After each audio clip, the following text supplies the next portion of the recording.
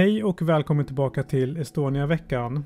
I Sara Hedrenius bok Det ser illa ut, som kom nu i höstas, skrivs det att Estonia under 1994 fick ta emot ett bombhot.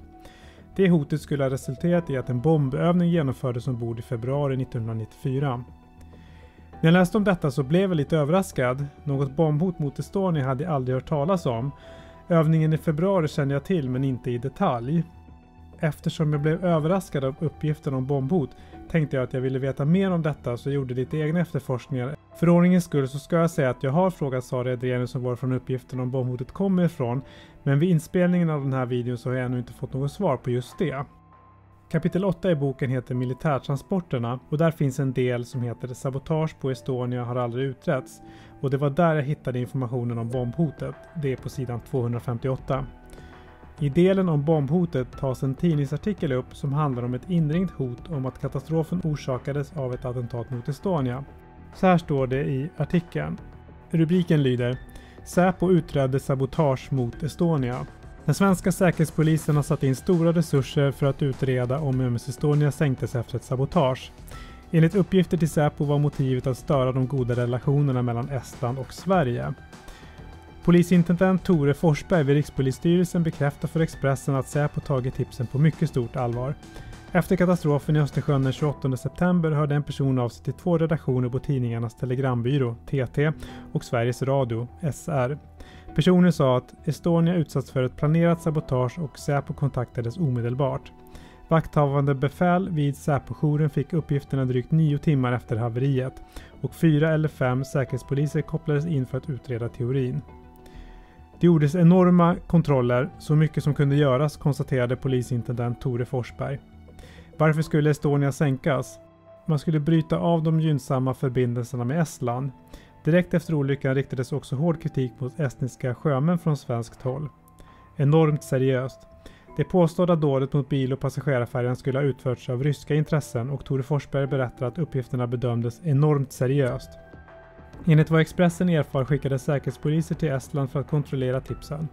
Säpo bad de bägge redaktionerna som kontaktades att inte publicera informationen. Orsaken var att utredningen riskerade att skadas om uppgifterna blev kända.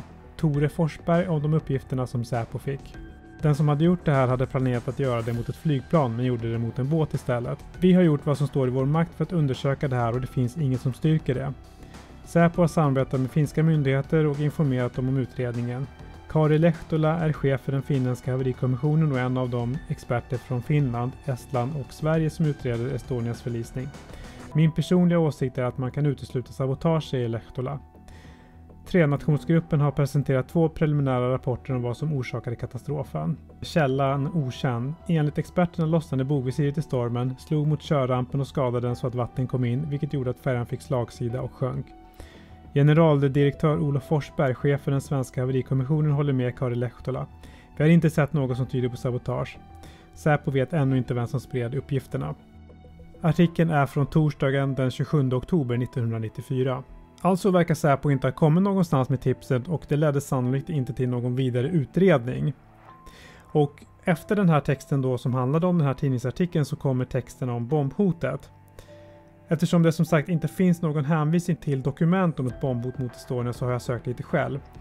En ledtråd till det här är att övningen skulle ha skett i februari 1994. En sökning på bomb på Estonia-samlingen ger följande. Jag har kollat igenom alla resultaten men det är det översta som innehåller mest information.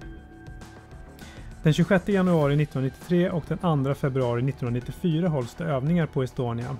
Den första är en brandövning och den andra en så kallad RITS-övning.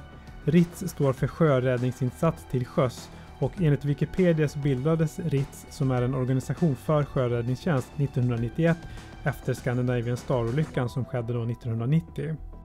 Sidan 18 i dokumentet på Riksarkivet har rubriken Bakgrund till scenariot RITS-övning 940202.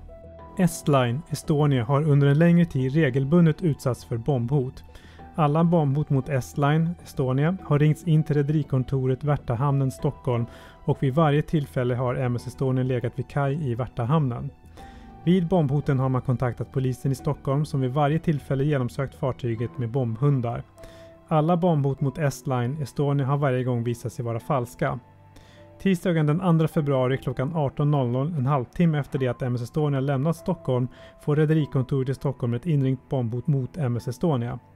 Bombhotet kommer från en man som på dålig svenska talar om att det finns ett antal sprängladdningar ombord på MS Estonia.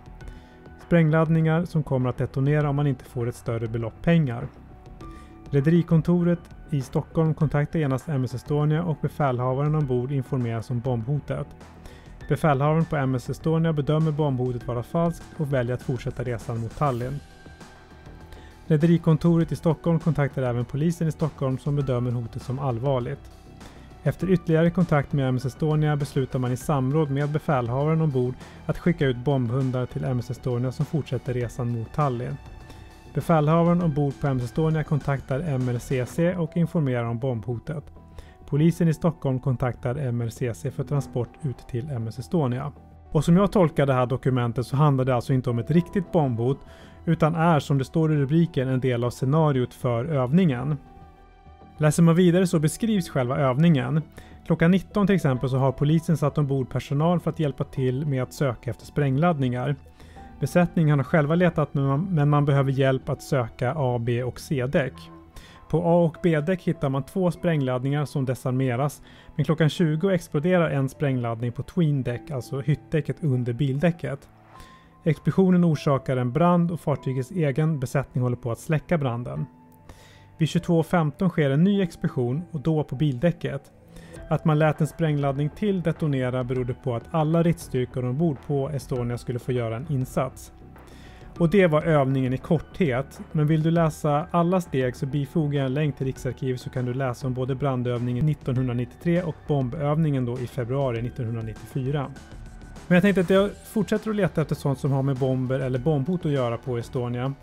Och bland annat så hittade jag en artikel i tidningen Arbetet och eh, artikeln är från den 30 september 1994 och det är S-Lines chef Johannes Johansson som uttalar sig om olyckan och han säger så här. Chefen för S-Line, Johannes Johansson, sade på torsdagen att katastrofen med rederiets färja Estonia omöjligt kan ha orsakats av fel på bilportarna. Det är en mycket märklig olycka. Jag är säker på att färjans portar inte kan ha orsakat olyckan, sa han efter att ha konstaterat att det är för tidigt att säga något bestämt ännu.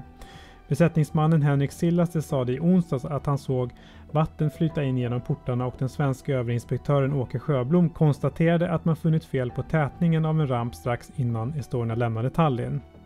Explosion. Teoretiskt skulle hon inte alls kunna sjunka. Alla färger är byggda så att det är praktiskt taget omöjligt, sade Johansson. Det har spekulerats kring någon undervattenskollision eller explosion, men Johansson sa att orsaken inte kommer att klarläggas förrän dykare har undersökt färjan nere på botten. Angående teorin om att last började halka omkring sa Johansson att det är möjligt, men att något sådant inte kan få en färja att sjunka på 5-10 minuter. Och i den här intervjun då så nämner han inget om att fartyget skulle ha utsatts för något bombhot tidigare och verkar inte göra den kopplingen heller när han spekulerar om explosioner. Hade det förekommit några hot är det väl inte helt omöjligt att han skulle ha sagt det i den här intervjun. GGE, alltså varvets egen utredning, skriver om bombhot och då skriver man att eh, något av Silja Lines fartyg hade utsatts för bombhot men nämner inte att Estonia skulle ha fått något sådant. Johannes Johansson nämns också i GGEs rapport och enligt rapporten säger han till Reuters katastrofdagen att Estline hade fått varningar om att en olycka kunde inträffa på Östersjön. Inget mer specifikt än så. Och jag har sökt efter det klippet i Reuters arkiv och jag har hittat en kort intervju med Johannes Johansson. Jag lägger en länk till intervjun här under. Men han säger ingenting om några hot utan uttrycker sin förvåning över att ett sådant fartyg som Estonia kunde sjunka på 5-10 minuter.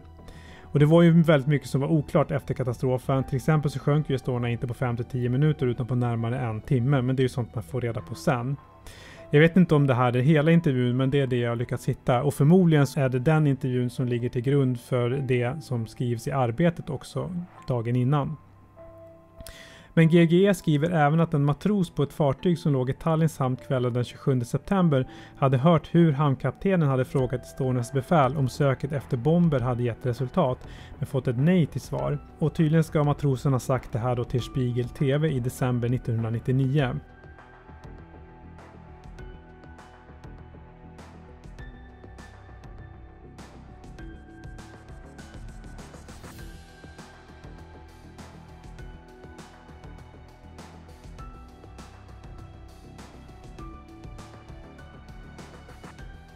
Om du vill läsa mer om vad GGE skriver i sin rapport om det här med bombhot så är det kapitel 36.2 som du ska läsa. Och för att sammanfatta, detta var det jag hittade om bombhot mot Estonia. Alltså inget konkret bombhot skulle ha varit orsaken till att man genomförde övningen i februari 1994. Allt som skrivs i dokumentet bakgrund är fiktivt vad jag kan förstå.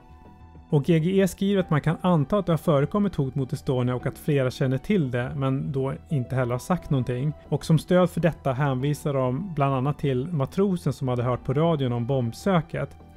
Men man ska komma ihåg att det var fem år efter katastrofen som matrosen ska ha berättat eh, om vad han hade hört. Och tidsaspekten gör ju att trovärdigheten sänks skulle jag säga. Tyvärr ges ingen mer info om den här matrosen annat än inslaget i Spiegel TV. Men det var allt jag hade för idag. Tack så mycket för att du har tittat. Vill du säga någonting så lämna en kommentar här under. Om inte annat så ses vi i nästa video. Ha det så gott. Hej då!